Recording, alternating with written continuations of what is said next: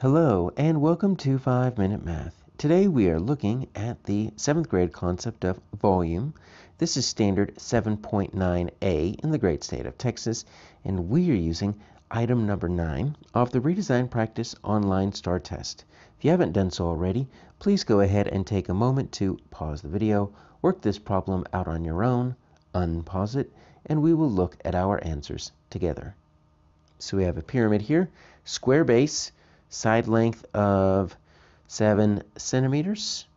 Volume is 196 cubic centimeters, so I need to find the height. Well, what do we know about volume of a pyramid? Let's check our references chart here, because they actually are going to give us a little bit that we can actually use. And as you can see, right at the very bottom, you see pyramid volume. So the volume equals one-third base times height. That is my equation or formula for volume. One third base times height. So let's draw a picture here. Let's open up our graph draw feature. All right, so we've got a square-based pyramid. So I'm going to attempt to draw one for you here so we can at least visualize it. So I'm going to put some dots for the back ones just because I know that I'm going to want to hide some. So I'm just going to try to show you which of the lines are going to be dotted. Those are the ones that are kind of hidden in the back. And there we go. So it's not perfect, but let's pretend that it's a square-based pyramid. What do I know about this? Well, I know that it is a square. Each side length is 7. So 7 cm, 7 cm. And I also know the volume is 196. Okay, so V equals 196 cubic centimeters. That's cm with a little 3. And I'm looking for the height. Okay, so the height is going to be another dotted line. And it usually comes down from uh, the very top there.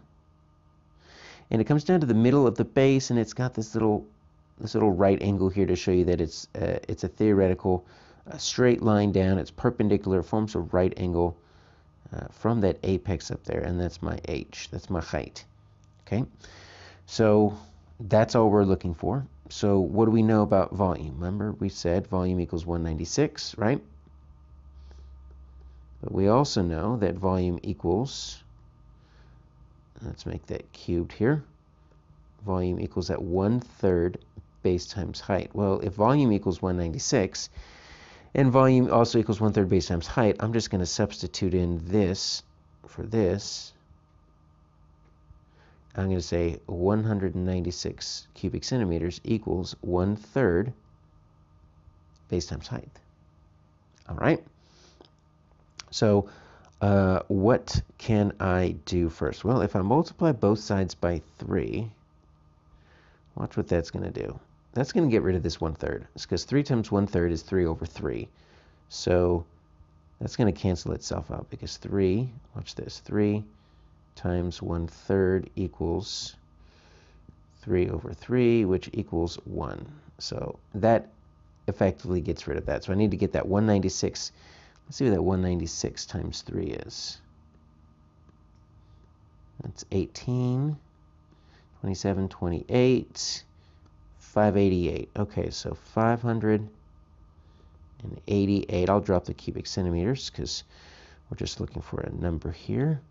Equals base times height. I don't know what the height is, but you know what? I can figure out what the base is. Look at this base. When the base, we're looking, we're looking at the area of this base. So what is the area of this base? Well, it's a square, right? So um, that equals that base times height, and that base is just going to be 7 times 7 times height, right? Well, 7 times 7, well, that's going to be 49, okay? So 588, I've replaced that base with 49 times the height.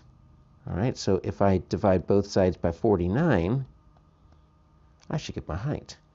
What in the world is 49 into 588? No idea.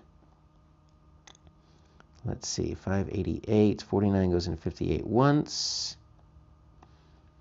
Hmm. Okay, well, 98, oh, that's pretty easy, goes in twice.